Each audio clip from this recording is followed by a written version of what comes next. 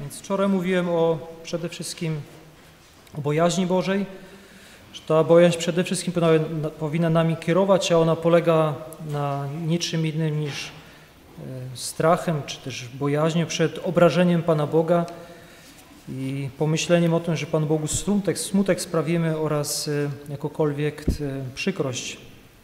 I ta bojaźń prowadzi do nawrócenia.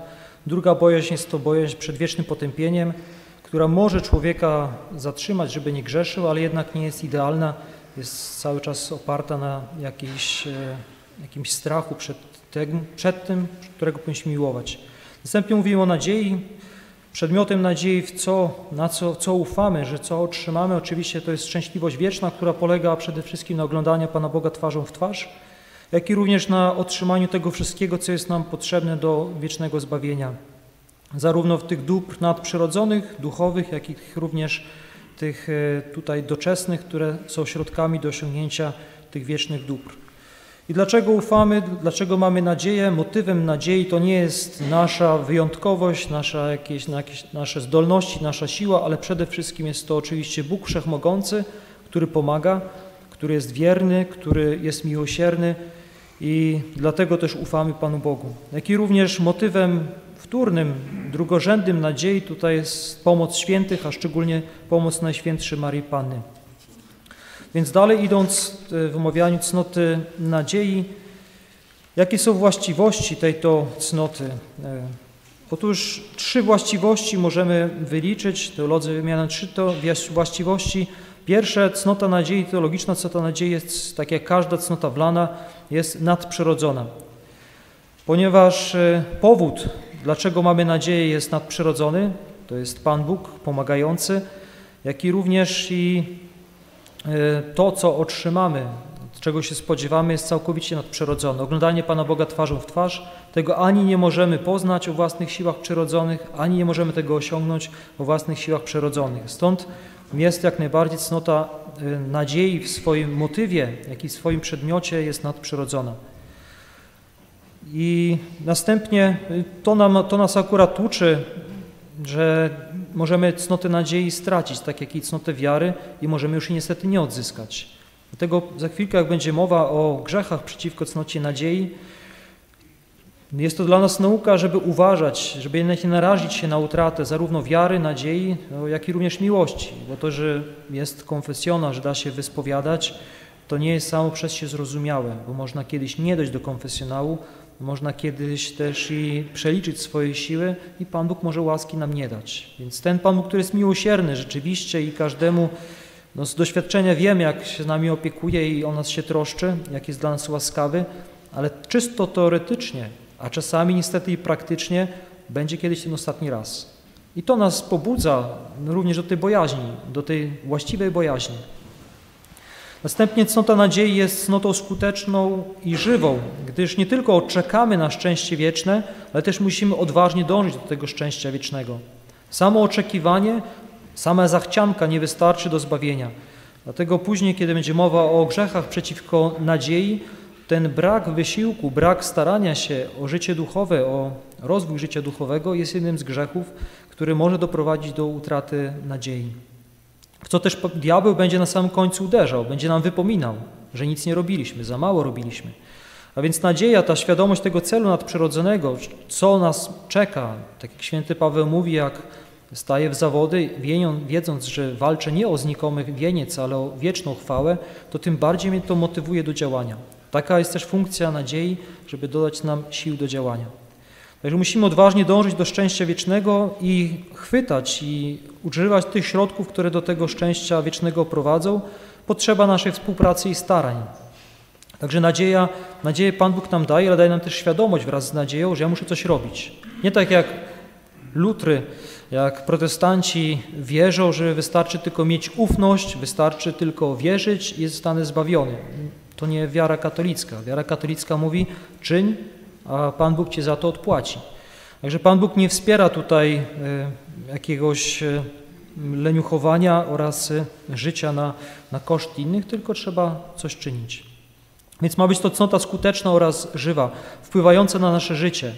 Te motywy cnoty, nad, cnoty nadziei, które nam Pan Bóg pokazuje w cnocie wiary, mianowicie szczęście wieczne, Trójca Przenajświętsza, to ma wpływać na nasze działanie. Dlatego, kiedy rozmyślamy nad tajemnicami np. Różańca Świętego, zmartwychwstanie, przede wszystkim w niebowzięcie, w niebowstąpienie, później w niebowzięcie na świętsze Marii Panny, przypomina nam cały czas o tym celu nadprzyrodzonym i ma nas prowadzić do konkretnego działania.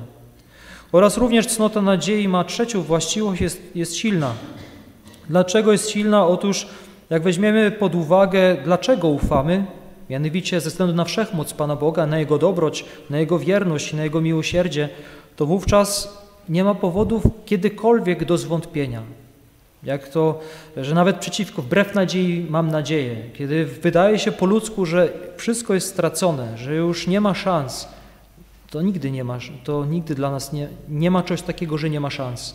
Na krzyżu, patrząc na Pana Jezusa, można powiedzieć, to już był koniec. Całkowity koniec, zakończenie działalności Pana Jezusa Chrystusa. Wszystko zostało e, zniszczone. To był dopiero początek.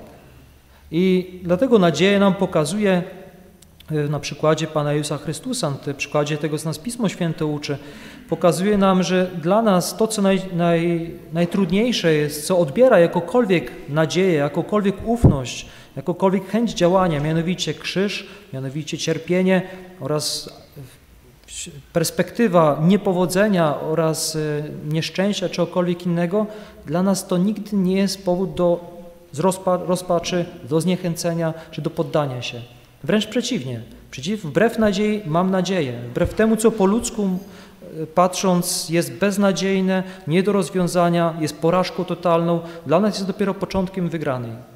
I to jest właśnie ta, to głupstwo krzyża, które ten świat odrzuca i które nie chce przyjąć, bo rzeczywiście łatwo powiedzieć to, e, czy łatwo też to tylko teoretycznie stwierdzić, no ale w praktyce to boli, bo Pan Bóg przez to, że ja to wiem oraz że mam nadzieję, goryczy krzyża nie odbierze i tej perspektywy bolesnej to, to będzie nas trwało darem napawało. Ale jednak ziarno musi obumrzeć i wiemy, że jak to ziarno obumrze, to wyda wspaniały owoc. No taka jest logika i taka jest mądrość Krzyża Świętego. Każdy z nas robi znak Krzyża Świętego codziennie, przynajmniej kilka razy, no więc po to to robimy, żeby sobie przypomnieć, jaka jest logika Krzyża Świętego. To, co dla świata jest wzgardzone i odrzucone, czego świat nie chce, to Pan Bóg sobie wybrał jako znak zwycięstwa swojego, znak Krzyża Świętego. Jest znakiem triumfu, znakiem zwycięstwa, największego nad szatanem, nad grzechem i nad tym więc, co, czego świat nie jest w stanie zwyciężyć. Więc silna powinna być nadzieja ze względu na ten motyw y, naszej nadziei, ale z drugiej strony konieczne jest i y, również pewien rodzaj bojaźni tutaj. Dlatego ona jest połączona z pewną dozą bojaźni, nasza nadzieja, nawet jak jest silna, bo zdajemy sobie z tego sprawę, że tutaj jeszcze wchodzi aspekt nasz, osobisty, nasz ludzki, a my jesteśmy niestety słabymi ludźmi. Dlatego choć Bóg jest potężny, Bóg chce nam wszystko dać, jest, pokazał nam, że nam wszystko też daje, tak jednak, jednak z naszej strony możemy powiedzieć nie, nie chcę, nie chcę się starać, nie chcę dążyć do tego celu. I dlatego też powinniśmy tutaj mieć pewną, e, pewną bojaźń, biorąc pod uwagę naszą własną słabość, niestałość, naszą złośliwość i tego możemy się obawiać. Ale nigdy nie możemy popaść w pesymizm, nigdy nie możemy popaść na widok naszych słabości, naszych grzechów, zniechęcenie i poddanie się. Bo to byłoby nic innego niż powiedzenie Panu Bogu, że dla Ciebie są rzeczy niemożliwe. Dla Pana Boga w tym aspekcie nie ma rzeczy niemożliwych. I Pan Bóg nam pokazał, że Żaden grzech, żadna słabość nasza, powtarzające się grzechy nie są dla Niego czymś zniechęcającym, czymś, co pozwoli Mu odpuścić nas, wręcz przeciwnie. To to Go pociągnęło, żeby stał się człowiekiem, żeby ustanowić sakramenty, żeby zostać na świętym sakramencie. Właśnie słabość nasza. Ponieważ wie, jak jest, jak jesteśmy słabi i upadamy, dlatego chce nas wspierać swoją obecnością, e, dając siebie, nam, siebie za pokarm, czy też dając nam sakrament spowiedzi świętej. Dlatego nawet jak jest doza niepewności i bojaźni, nigdy nie może być pesymizmu, nigdy nie może być rozpaczy z naszej strony ani zniechęcenia. Nie ma powodów do tego. Jednak ten motyw, że to Bóg jest, który mi pomaga, jest dominujący w tym wszystkim. Ale z drugiej strony jednak ta niepewność zawsze sprawia, że człowiek będzie coraz bardziej ostrożny. To już święty Tomasz właśnie mówił, omawiając bojaźń, że bojaźń prowadzi do rozwagi oraz do ostrożności. I taką też funkcję ma spełniać bojaźń Boża do rozwagi i do ostrożności, że mogę niestety przegrać całą swoją wieczność, jak odpuszczę sobie.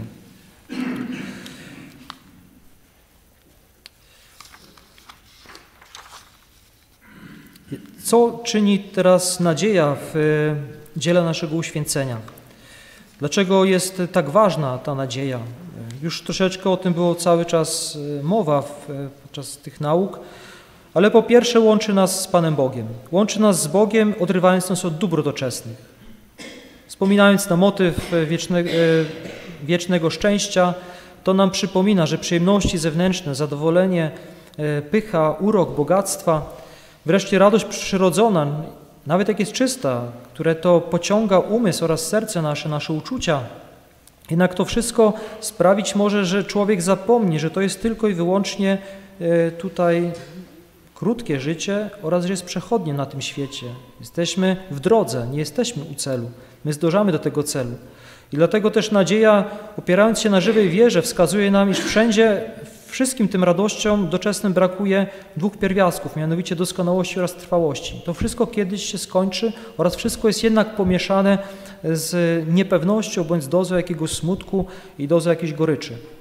I to dobrze, że tak jest. Wtedy nam to przypomina, że nie jest to, do tego nie jesteśmy stworzeni. Także żadne z dóbr tych doczesnych nie jest dostatecznie doskonałe, żeby mogło nas zadowolić i żeby uczynić nas szczęśliwymi. A ponieważ tak bardzo to może uwikłać zarówno nasz rozum, naszą uwagę, jak i nasze uczucia, e, stąd też e, nadzieja, którą się karmimy, jest w stanie odrywać nas. I lepiej samemu to robić, niż żeby Pan Bóg musiał to robić. Żeby Pan Bóg musiał przez gorycze tego, e, tego życia, przez nieszczęścia, które nas spotykają, chociaż to i tak i tak przyjdzie, ale jednak jak będę się ćwiczył w cnocie nadziei oraz pragnieniu życia wiecznego, to wówczas to, co mnie na ziemi spotka, nie będzie aż tak bardzo dotkliwe, nie złamie mnie przynajmniej.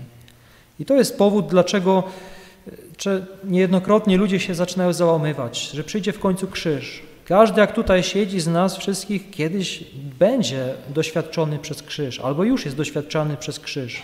I to nie jest wina Pana Boga, że krzyż jest zbyt wielki, że to cierpienie jest zbyt wielkie, że coś jest zbyt wielkiego. Absolutnie nie. Pan Bóg powiedział nam, kiedy zostaliśmy ochrzczeni, jesteś pod znakiem krzyża ochrzczony. I ten krzyż kiedyś cię w końcu dopadnie. W końcu będziesz musiał go nieść, wcześniej czy później. I całe życie nasze przygotowujemy się na te krzyże. A więc to, że myślę o życiu wiecznym, czerpię pociechę z tego życia wiecznego, może mi dodać sił do tego, żeby krzyż mnie nie złamał.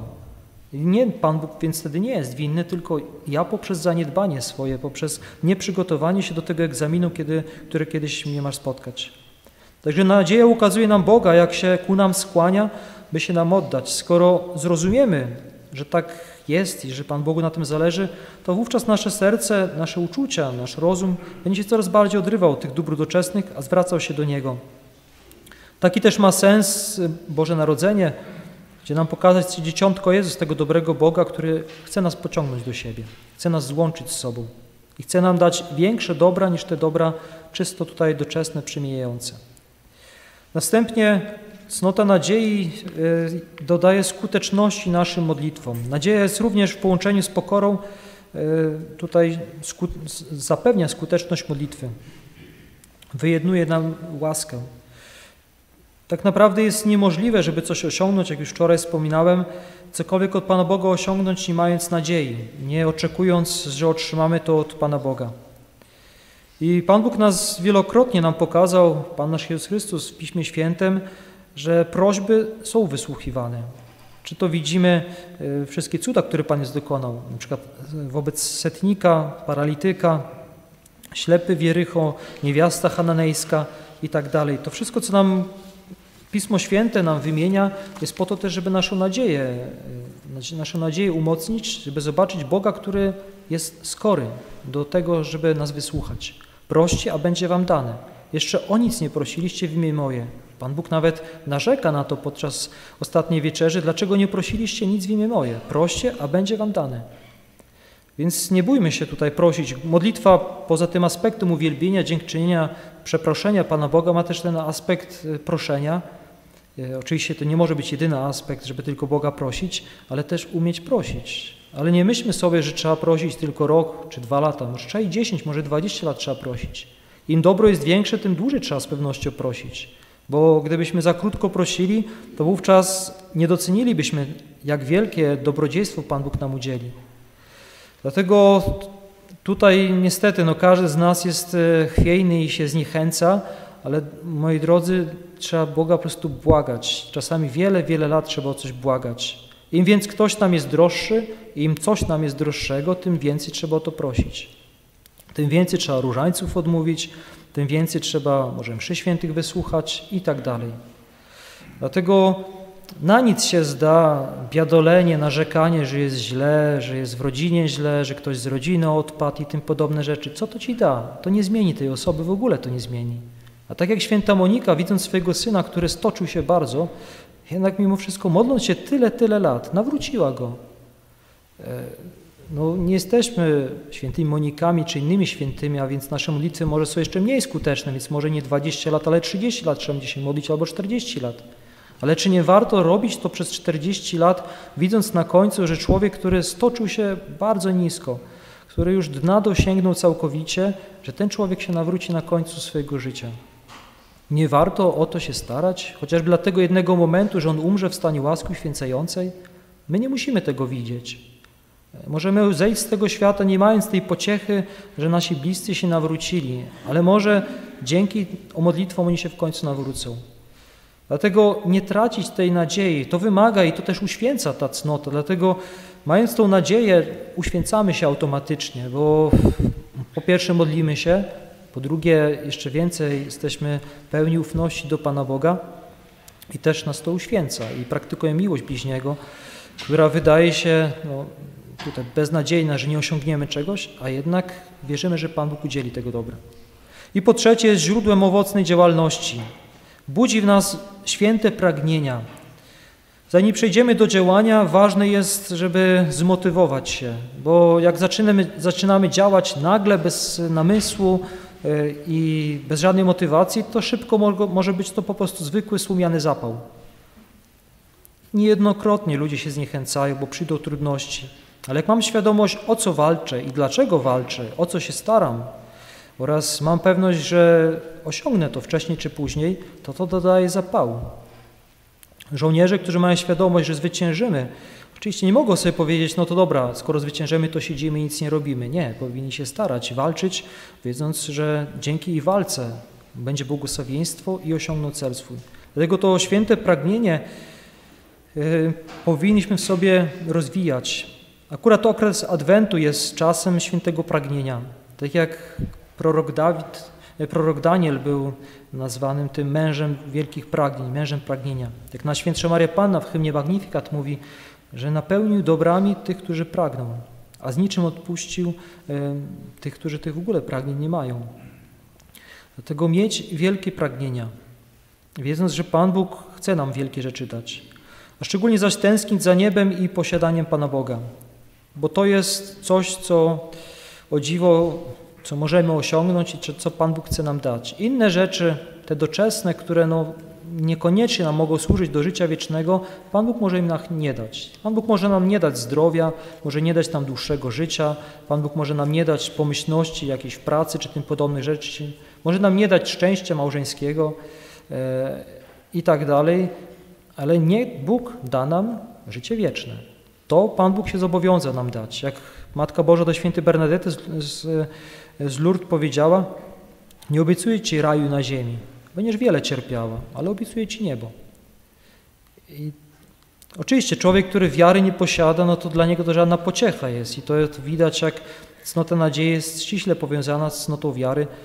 I dlatego też później mowa, jak będzie o zdobywaniu, pogłębianiu cnoty nadziei, to jest ściśle powiązane z też zdobywaniem cnoty e, wiary. Także widok nagrody, o, który, o która o wiele prześciga nasze wysiłki, zwiększa jeszcze naszą energię. Także jeśli osoby światowe tak żarliwie pracują, by zdobyć znikome bogactwa, czy też jakiś zapaśnik, czy jakiś sportowiec, który walczy dla jakiejś tam statuetki, dla jakiejś sławy, czegokolwiek innego, no to cóż wtedy powiedzieć o nas, którzy mamy taką wielką nagrodę zapowiedzianą. Poza tym Cnota nadziei dodaje odwagi i wytrzymałości, która płynie w pewności zwycięstwa. Że mamy tu pewność, że zwyciężymy, jak już wczoraj wspomniałem. Dalej idąc, jakie grzechy więc, czym można zgrzeszyć, w jaki sposób e, przeciwko nadziei. I tutaj trzy grzechy można wymienić. Pierwszy to jest zaniechanie nadziei w ogóle, aktu nadziei, wtedy kiedy jest to nakazane. Następnie jest to rozpacz i po trzecie jest to zuchwalstwo. Trzy grzechy tutaj możemy wymienić i pierwszy z nich to jest zaniechanie aktu nadziei. Kiedy to się dzieje? Mianowicie, kiedy człowiek prowadzi życie bezreligijne, rzadko e, chodzi do spowiedzi, pomija wtedy akt nadziei tak naprawdę, ponieważ zazwyczaj nie czyni żadnego poważnego aktu, który tą nadzieję by wyrażał, mianowicie tego pragnienia życia wiecznego, które wyraża się w staraniu przyjmowania sakramentów. Dlatego, jeżeli prowadzimy pobożne życie katolickie, przystępując do sakramentów, modląc się, to wówczas nie zaniedbujemy tego aktu nadziei. Następnie ktoś, kto by nadmiernie był przywiązany do dóbr ziemskich, e, przedkładał je na życie wieczne, e, to wówczas również zaniechałby tutaj akt nadziei. Że ten, kto by w dłuższy czas oczywiście to robił, tam nie jednorazowo, ale bo mogą być różne powody doczesne, które na przykład zmuszają nas, że nie pójdziemy na mszę święto, czy opuścimy ten czy inny raz jakąś modlitwę, ale jednak jak spostrzegamy, że to, te sprawy doczesne, zatroskanie o sprawy doczesne sprawia, że już nie ma czasu na modlitwę, nie ma czasu dla Pana Boga, takiego rozsądnego czasu dla Pana Boga, to wówczas jest to znak, że jednak moje nadzieja zaczyna słabnąć pod tym względem, że nie jest to coś, co wpływa na moje życie, że stawia priorytety w moim życiu. I przez to oczywiście człowiek będzie coraz bardziej e, słaby oraz coraz bardziej uwikłany w te rzeczy tego świata. Będzie ciężej mu pokusy e, pokonywać, ponieważ zapomina o wymiarze nadprzyrodzonym, o życiu wiecznym. Dlatego prowadzenie życia religijnego, regularna modlitwa sprawia, że nadzieja jest e, ożywiana oraz będzie silniejsza i będzie wpływała też na nasze życie. Więc to jest pierwsze. Grzechem byłoby e, oddanie się całkowicie w rzeczy tego świata i zaniedbanie życia religijnego. I tu każdy z nas widzi, że chociaż nie ma takiego może wielkiego zaniedbania, ale zawsze się jakieś zdarza. Dlatego Lekarstwem na to będzie wzmacnianie cnoty nadziei, myślenie o życiu wiecznym, o konieczności starania się o życie wieczne oraz y, również o wartości modlitwy, co ta modlitwa może nam tak naprawdę dać w życiu. Drugi grzech to jest y, ciężki grzech. Ten pierwszy to są najczęściej grzechy lekkie, chyba że już jest długotrwałe zaniedbanie, to może być grzech ciężki. Ale drugi grzech, poważniejszy, to już jest rozpacz. Y, ktoś, kto popełnia grzech rozpaczy, to kwalifikuje, jakby się ustawia na, na samej górze w, w kategorii grzechów, e, obok grzechu herezji, czy też grzechu nienawiści do Pana Boga. Jest to grzech przeciwko cnocie boskiej, a więc atakujący, pod, atakujący przymioty Pana Boga.